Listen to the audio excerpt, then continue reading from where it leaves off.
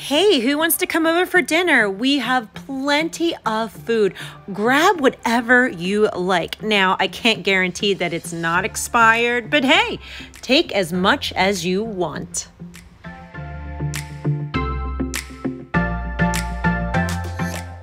Now it's time to get back into this kitchen and finish our spring cleaning in this room. And we've done a lot in here. We've cleaned it up, we decluttered a lot of things, but there's still something that we need to declutter, and that is the pantry. My hubby made this for me back in 2018. And though I love it and it stores all the food, there's so much stuff in here that I don't even know what is in here anymore. It's kind of become a hoarded hot mess. It's disorganized. And it's time to get in here, declutter it, pull everything out of it, and organize it so that I know what we have to make it easier for cooking and sending snacks to school. And I have to admit, I'm a little intimidated by organizing all this because look, I'm a hoarder recovering in her hoarding disorder.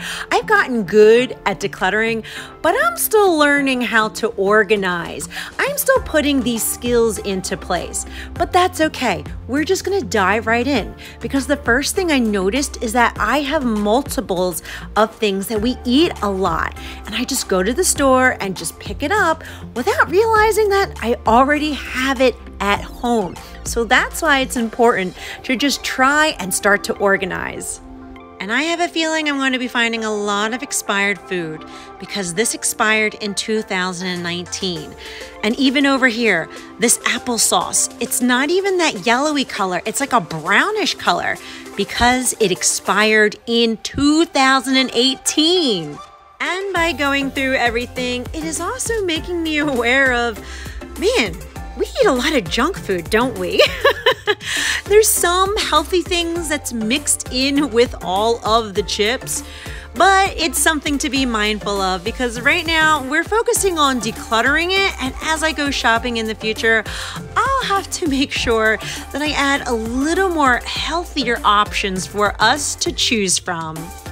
And now we're making some progress as we emptied out this side of the pantry, but now we got to start working on here, right? It's all about just taking the next step. Once you take the first step, you can easily start to the next step.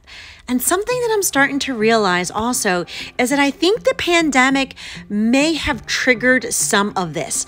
Remember last year when there was like no food on the shelves and it was kind of scary? Well, whenever there was an opportunity, I would grab pasta and sauce because it lasted a really long time.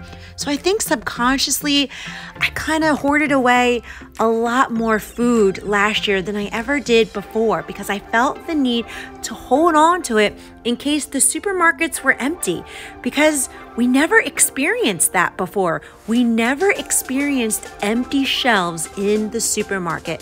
We've just taken for granted that there was always food available to us. And that's why some people struggle with hoarding disorder because it's our coping mechanism for our fears, our anxiety, our depression. It's how we're able to function. But actually, there are ways to heal from that vice and start to have healthier coping mechanisms to deal with those emotions.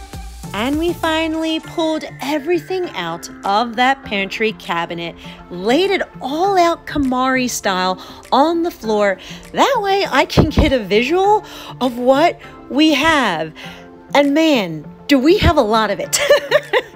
that is an overwhelming amount of food for a family of four and it just emphasizes the need to have it organized. Now, this is going to be part of the video where I do it a little differently than Marie Kondo. I don't start picking out what sparks joy because with hoarding, a lot of things spark joy for me. No, I have to start with what doesn't spark joy. What can I declutter easily? That way I can get that decluttering momentum going.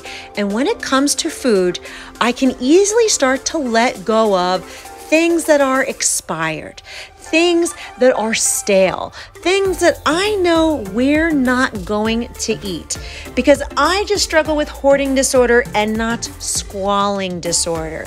Squalor disorder is a little different. Those are the people who hold on to the rotting food, the dirty diapers, the blatant trash. Now, I don't have that. That is a separate disorder.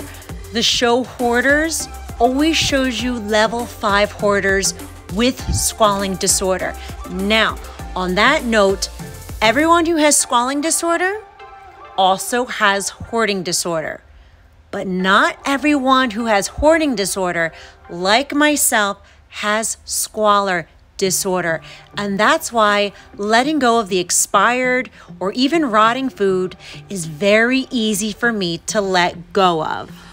All right, so I'm pausing because I'm feeling a lot of emotions right now.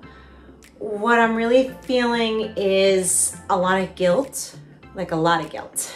Um, I'm throwing away, it feels like more than half of this food because it's expired we didn't use it, it's stale, and it's because I didn't organize it and it just feels really guilty right now and I'm trying to change my energy around because I feel I'm getting that ashamed feeling like showing you guys, God, look at all this food that was wasted. There's people starving that I could have used that money and bought that food to give a family a meal, but instead my disorganized brain just let it rot in the pantry and I don't want to feel like that. I need to turn this energy around so that it's becoming positive again. And I think what I'm going to do is um, every month, every month I like to donate to a charity and um, using my Google ad revenue. So I think what I'm going to do is maybe I'll make like a hundred dollar donation to like the local food pantry. That way, at least I can make this and turn this around into like a positive thing again. So over here is the food that we are keeping. It's still good. It's not stale. We'll eat it, so I have to organize it so that we can make family meals out of it. Now this over here, this big pile is the tossy tossy pile. This is what is getting decluttered this episode. And a lot of it is expired, but some of it is still good. I just know that we're not going to eat it. So I'm going to make sure that I donate it and bless somebody else with this food. Now that the pile of what we're keeping was a lot smaller, it was a lot easier for me to start to visualize how am I going to categorize this. Now, I went to Bed Bath & Beyond with my 20% coupons, but I was still a little shocked on how expensive pantry organizational bins are, even with my coupons. So I only picked out a few pieces. And the rest, I just used some hoarded organizational pieces that I had squirreled away. And these were actually from Dollar Tree, and I'm glad that I picked them up when I did. And now it's time to give these shelves a really good wipe down. They are very deep, and I remember one of my amazing subscribers had suggested you really should install pull out drawers in your pantry, which is a wonderful idea. But unfortunately, hubby's been working so much overtime that he didn't have time to do it. So we're going to have to work with what we have.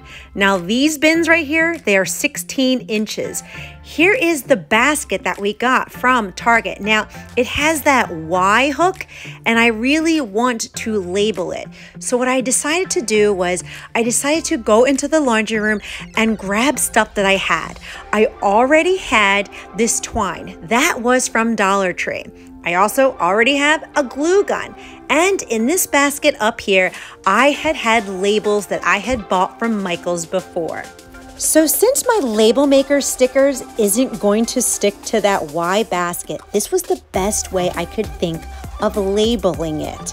So what I did was I took a piece of that twine and I was going to hot glue it to the back of my cardboard label. That way I can thread it through the basket, tie it in the back. That way it looks nice and clean and labeled so I know what food goes in there.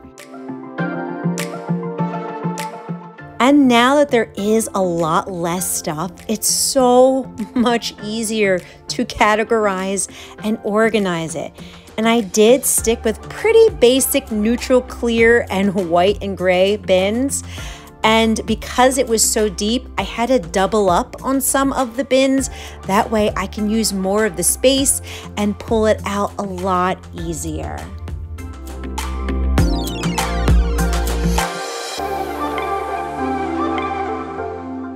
So I did end up buying three of the containers from Bed Bath & Beyond, one big one to store the flour, and then two smaller ones to store sugar and brown sugar. That way they stay fresh longer. And I also have my own label maker that I bought last month. I had to return my friend's label maker. And I know this will be a really good investment because now that we have decluttered so much that we're in the organizing stage, I get to label everything, and it does look so much better once everything is labeled. And now it's the moment of truth. Can somebody recovering in their hoarding disorder be organized? And the answer is yes. Doesn't that look so much better? This is such an improvement on what it used to look like. Up here, I have dry foods, and behind it, I have pasta. Now, I labeled it to what was in front on the top and what was in the back on the bottom. That way, I knew what was in the containers. This over here, of course, we have cans and soup, fruits and nuts, and condiments. And I love how this turned out. On the bottom, I organized the snacks and the chips like this because this bar that's in the middle kind of takes a lot of room. So I put the smaller chip basket in the back and over here is where I have snacks like crackers and cookies and granola. On this side, this is all the baking stuff. I have a lot of baking ingredients and now it's all together so that I can clearly see it. And I wanted to show you how easy these bins slide out. That way you can get to the stuff in the back. It's a great temporary fix until hubby can install those drawers because organizing is always evolving. It's always changing. It's always figuring out, hey, how can we make this a little better? But overall, I absolutely love how this came out and it's 100% better than what it used to be.